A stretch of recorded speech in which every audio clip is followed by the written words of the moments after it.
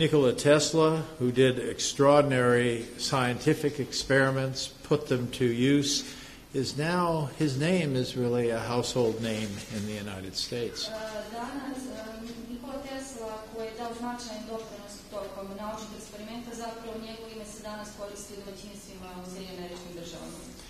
Really, every American knows who Nikola Tesla is today, Zaista svaki Amerikanac zna ko je Nikola Tesla.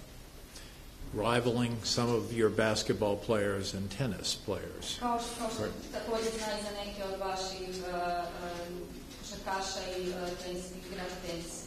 But I think it was Mihailo Pupin who also did absolutely extraordinary things for this relationship.